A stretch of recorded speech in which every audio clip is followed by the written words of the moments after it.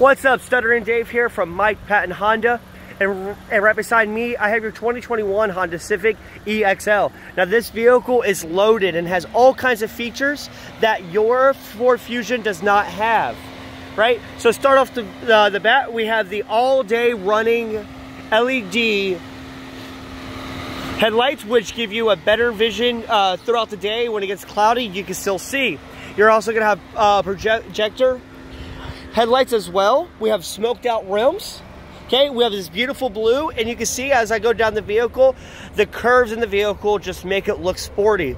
Now the curves aren't just to give the vehicle a sporty look, but to help with the fuel efficiency because of the aerodynamics, which gives you about 36 miles per gallon on the average. As we come down here, we have power windows, power locks, and power mirrors.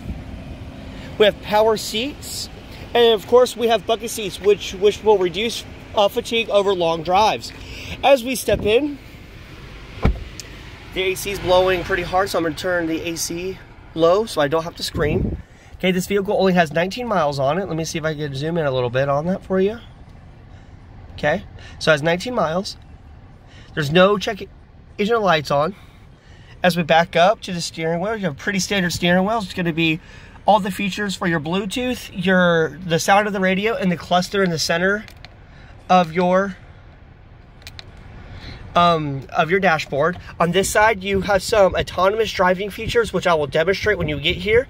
This vehicle virtually drives itself, and I will demonstrate how that works when you arrive. That's the biggest thing that's different from your Ford Fusion. You also have intelligent cruise control and lane departure.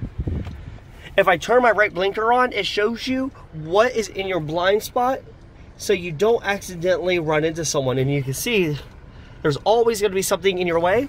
Or if you're trying to park, or if you're trying to park next to a curb, uh, you can see where the curb is lined up at. Okay, turn the blinker off and it disappears. If I put my backup camera on, okay, you have a backup camera and then you have three different views that you can select from.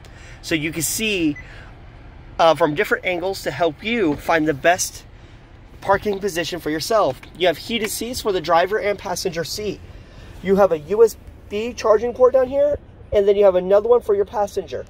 There's a cord running up through the dash to give you a new USB charging port right here, so you don't have to reach underneath your dashboard.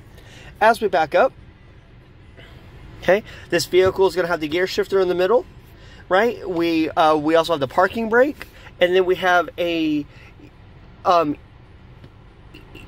eco driving mode. Sorry, I'm stuttering. Comes out sometimes. When we get to the center right here, okay? You have cup holders and you have lots of storage. I'm gonna jump in the back. Oh, let's not forget the best thing about the vehicle, we have a sunroof.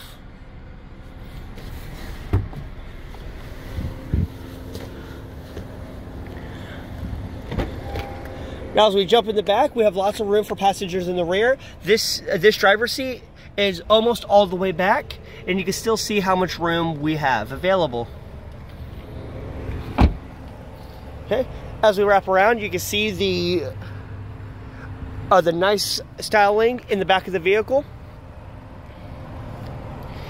And again, you can see the curves of the car as we are walking back.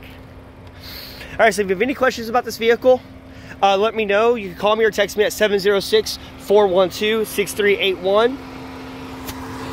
And remember, ask for Stuttering Dave because that's where you get the deal of your life.